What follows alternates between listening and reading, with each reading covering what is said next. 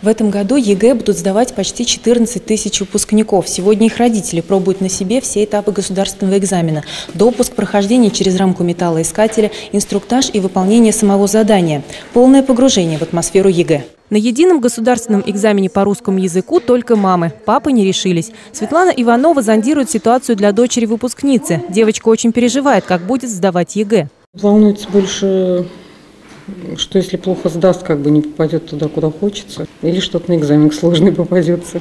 Никаких подсказок, телефонов, экзамен записывается на видео. Все по-настоящему. Цель не напугать, а показать все как есть, говорят представители Министерства образования. Хорошая оценка на экзамене складывается из трех частей – знания предмета, процесса самого испытания и правильного психологического настроя и у школьников, и у родителей.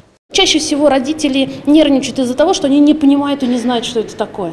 Вот когда они в это окунутся, когда они это увидят, мы очень надеемся на то, что и дома будет более спокойная обстановка и более правильный настрой. В Самарском центре для одаренных детей волнуются особенно сильно. В этом году у них первый выпуск. Их воспитанники постоянно участвуют в сложных олимпиадах и конкурсах, и задания ЕГЭ могут вызвать замешательство с неожиданной стороны. ЕГЭ проще по сравнению с любой олимпиадой и любым конкурсом профессионального мастерства. И привыкнув бороться с амбициозными задачами, э, не всегда школьник сразу автоматом перестраивается и начинает искать сложное там, где его нет.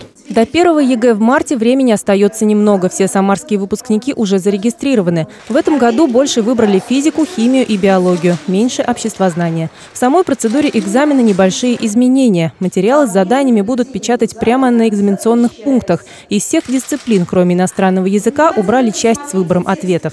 Тем временем испытание для родителей заканчивается. Как у вас ощущения?